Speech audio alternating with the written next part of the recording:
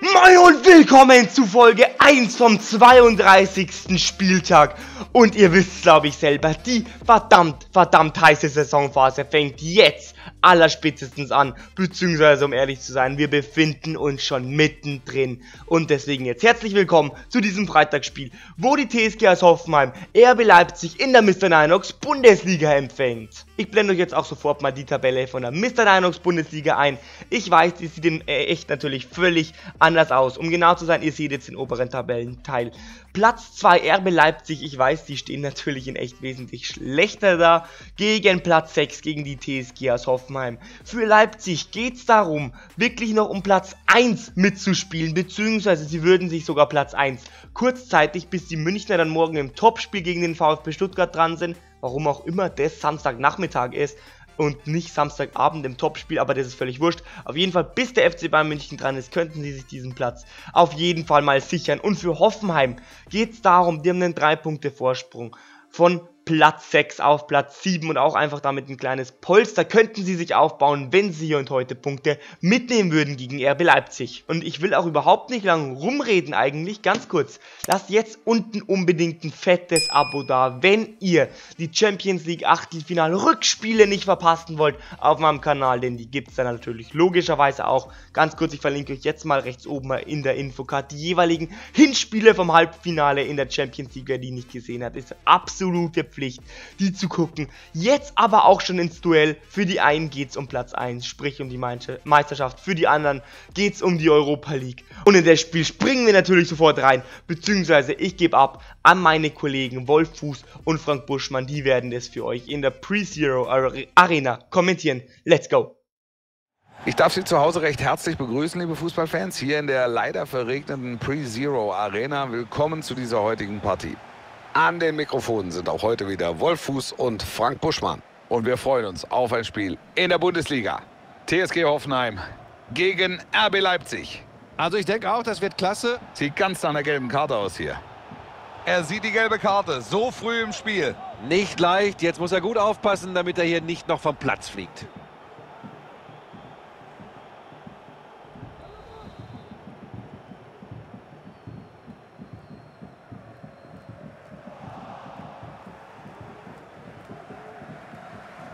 Florian Grillitsch. Ja, sehr dribbelstark, macht das richtig gut. Da ist der Ball dann doch weg, da müssen sie mehr draus machen.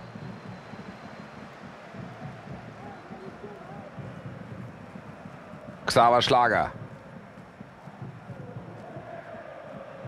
Dani Olmo. Schlager. Diesen Pass holen sie sich. Osan Kabak. Nun Kaderabek. Er fängt diesen Ball ab. Openda. Machen Sie gut, das kann was werden jetzt. Dani Olmo. Gut geblockt.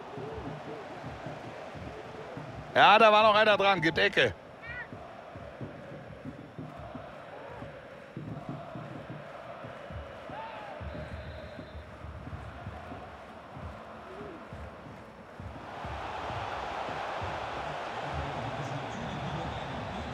Amadou Haidara.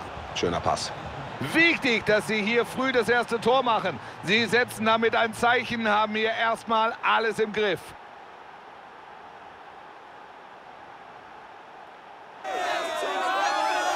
Und da macht er das Tor, obwohl die Verteidiger da waren. Ganz stark gelöst.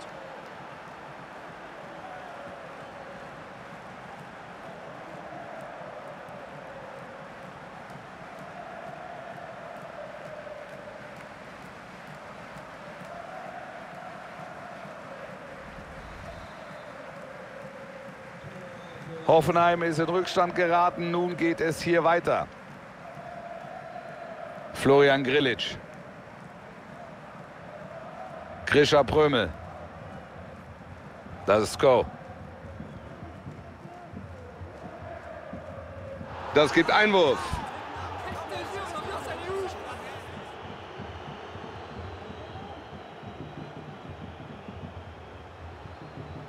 Den Ball holt er gut verteidigt.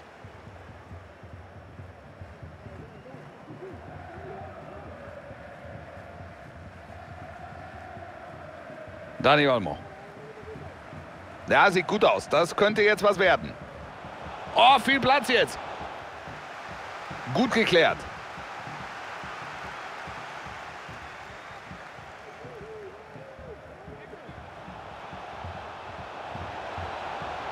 Dani Olmo.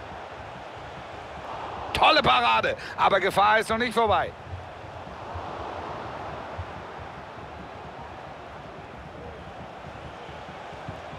Schön zugemacht, sie unterbinden diesen Angriff.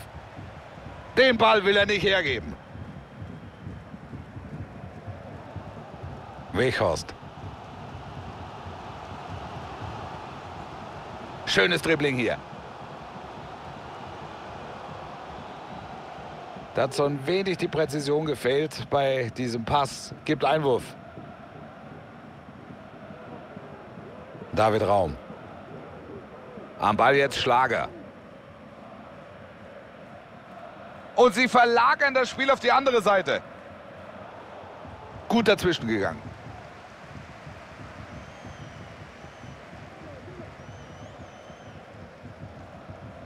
Kaderabek. Das könnte eine Gelegenheit werden. Aber die Abwehr ohne Probleme. Simmons. Amadou Haidara. Openda.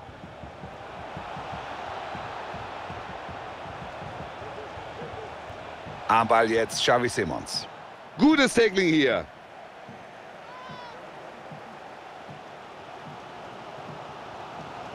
Grisha Prömel. Florian Grillitsch. Er hat den Ball und das könnte jetzt eine Chance geben. Openda. Langsam wird es gefährlich, schönes Dribbling. Flanke am Ende dann doch zu hoch. Kaderabek.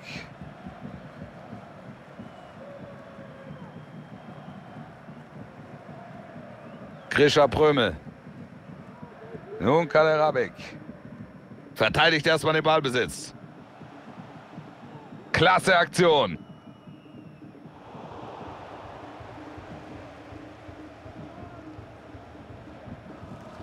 Amadou Haidara. Henrichs. Schöner Vorstoß, das könnte durchaus gefährlich werden. Da kommt die Flanke. Nicht das Tor. Ja, der muss sitzen, da knallt er das Ding ans Aluminium.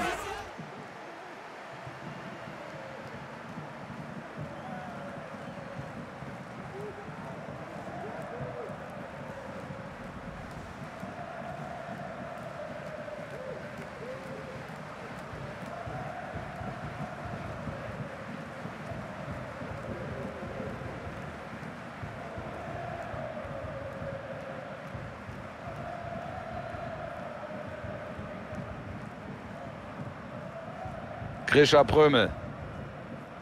Und angezeigt jetzt eine Minute Nachspielzeit. Jetzt der Vorstoß.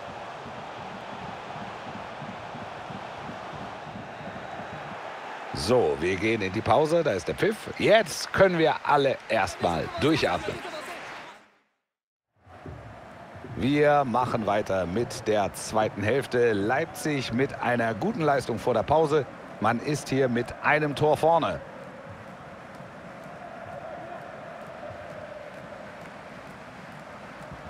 Den Zweikampf führt er gut, jetzt hat er den Ball. Einwurf für RB Leipzig.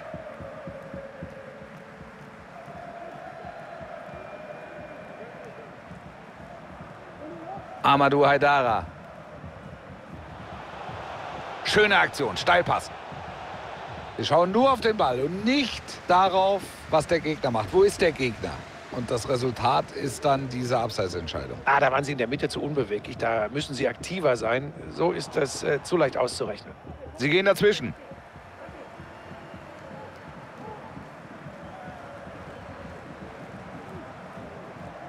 Ja, das ist natürlich nicht leicht, da jetzt durchzukommen. Xaver Schlager. Ja, er verliert den Ball.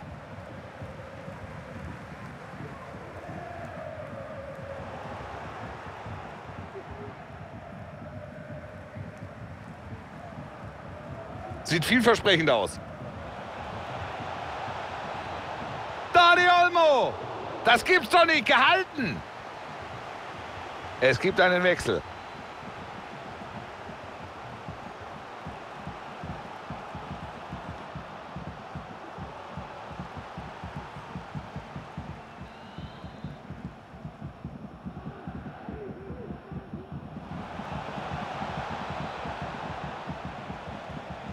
Er hatte kurzzeitig nicht mehr den richtigen Halt, aber er fängt sich und hält die Balance. Flanke kommt nach innen. Das sieht richtig gut aus jetzt. Gut abgeblockt. RB Leipzig bekommt hier die Ecke und das wäre natürlich jetzt die Gelegenheit, die Führung hier weiter auszubauen.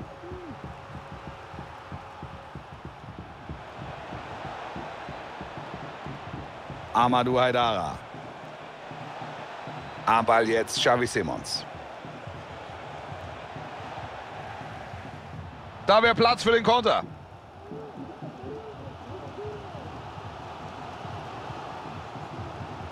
Grisha Prömel. Anton Stach.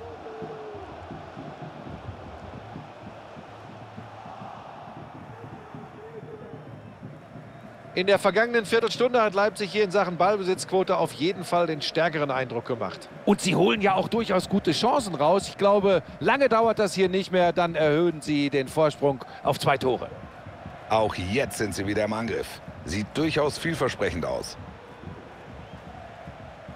Dani Olmo. Da ist die Chance. Er geht dazwischen. Wir sehen es, beide Mannschaften wechseln.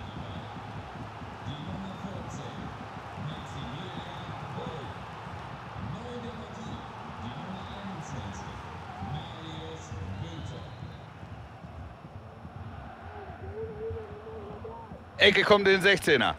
Er hält den Ball fest, das war wichtig.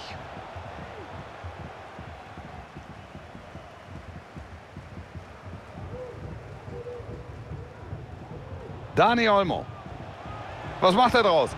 Tor! Er hat damit also den Doppelpack in diesem Spiel. Klasse Leistung.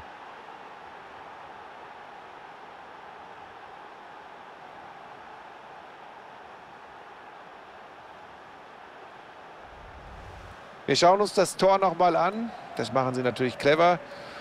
Haben die Defensive so ein bisschen mürbe gemacht und dann kann auch dieses Tor fallen.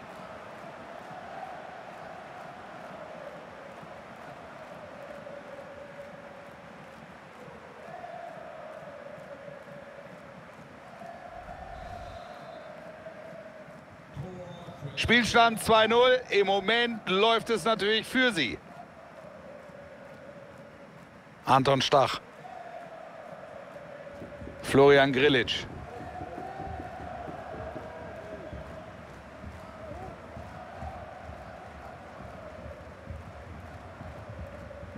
Stach. Regulär ist noch eine Viertelstunde zu spielen. Osan Kabak.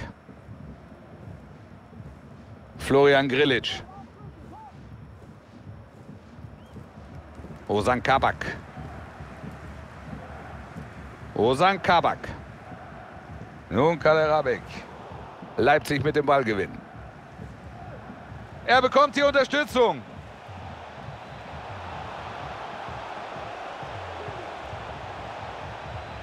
Amadou Haidara. Den Ball holt er gut verteidigt. Außen wäre jetzt der Platz da für die Hoffenheimer. Klasse Tackling.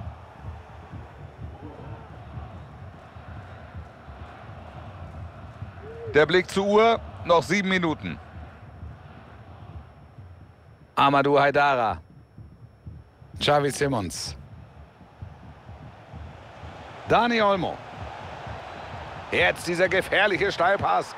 So, Deckel drauf. Mit diesem Tor war es das für heute. Jetzt kann Ihnen diesen Sieg keiner mehr nehmen.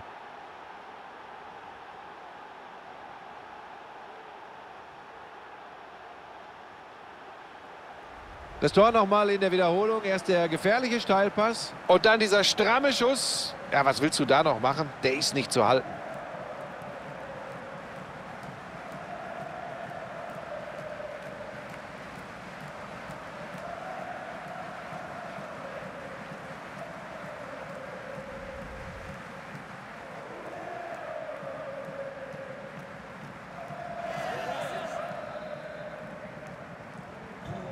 Das wird heute wohl nichts mehr für sie. Das Spiel ist fast vorbei.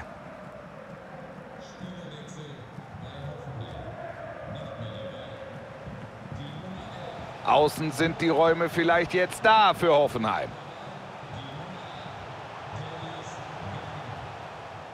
Ganz stark.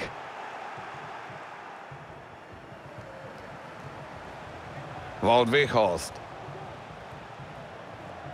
Das ist Andrej Kramaric.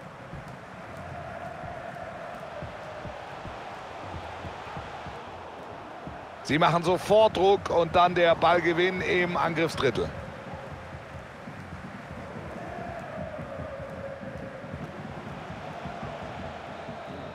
Und nun ist es zu Ende. Das ist der Schlusspfiff. Mehr als diese Niederlage war heute also für die Gastgeber nicht drin. Es ist eine herbe Niederlage geworden in der Liga. Das war nicht ihr Tag und das sieht man ganz deutlich auch in den Gesichtern der Spieler. Er hat heute wirklich gut gespielt, Buschi. Ein Tor gemacht, fast wäre noch ein zweites hinzugekommen am Ende. Natürlich der Sieg. Wir haben wieder einmal gesehen, diese Torgefahr, dieser Torriecher ist für ein Team sehr, sehr wichtig.